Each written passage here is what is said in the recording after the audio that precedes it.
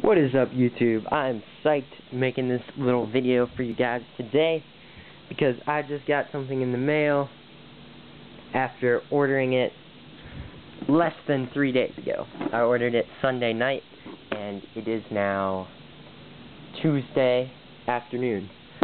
And this has come all the way from, hold on, Michigan from High Tech Solar Inc.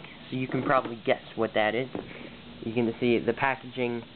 Eh, I've seen better. I mean, there's this gap here, but I don't. That doesn't really matter that much. Um, obviously, if the panel's broken, I'm gonna be pretty upset. But I have a good feeling that it's not. So I've already cut some of the ties with my Opinel number six knife, um, which I highly recommend for everything because it is very cheap and you can make it very sharp. So, let me just cut these last few ties here. Easier.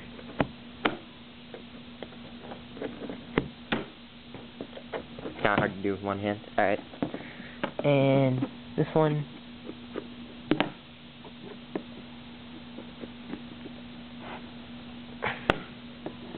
obviously I have not looked at this. so, this should be a 120 watt panel. And shipping was free. And you can guess how much I paid for it. It was $115. So, under a dollar a watt. Which is very nice. Um, unless you're buying in bulk you can't find deals like that anywhere else.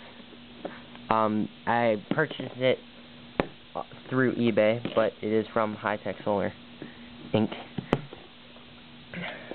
Okay, just two more.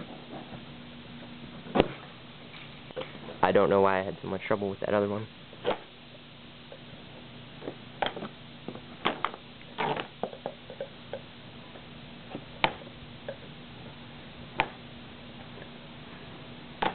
Sorry, it's my first unboxing video. I just wanted to show you that this is genuinely the first time this is going to see daylight.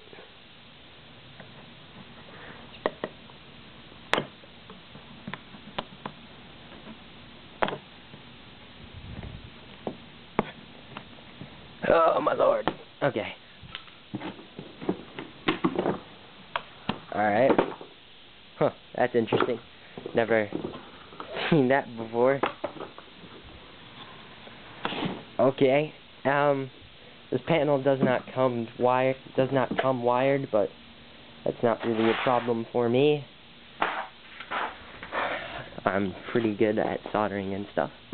So I'll just give you a look into the box here. Uh, if I could. It needs a screwdriver. Okay, and you can see it says it is a 120 watt panel, 16.9 volts. Um, 7.45 amps.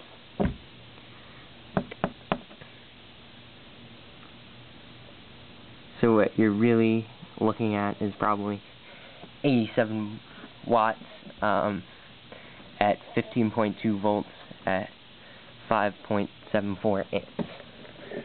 Um, and that's more realistic generation.